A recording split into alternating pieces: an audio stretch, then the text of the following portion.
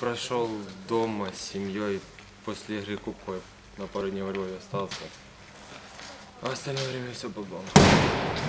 Устал, да, сегодня так.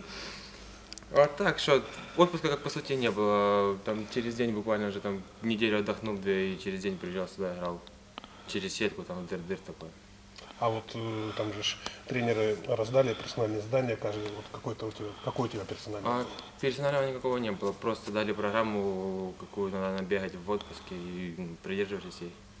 Он сегодня даже перед тренировкой уже без раскачки сразу взяли и побежали. Э, Основной вопрос, э, чего ожидаешь и с какими надеждами вот входим сейчас в весеннюю часть сезона, чего ожидаешь от команды и от тебя лично? Ну, ввели золотой матч, как я понял, во второй лиге. Ну, хотим выиграть его. Такие ожидания. Потом в Кубке, конечно, хотелось бы пройти дальше. Если бы нам попался, конечно, соперник не грант украинского футбола. Ну, а так совершенствовать свое мастерство, расти, прогрессировать. То, что финал Кубка Украины пройдет на Днепр арене, как-то дополнительно еще мотивирует или в принципе и так все? Да ну как оно может мотивировать? Сам финал Кубка мотивирует, а где он будет проходить, это уже второстепенно. Просто что да, там, допустим, если будет это все в Днепре происходить, то при своих болельщиках, конечно, приятнее играть и, я думаю, будет легче.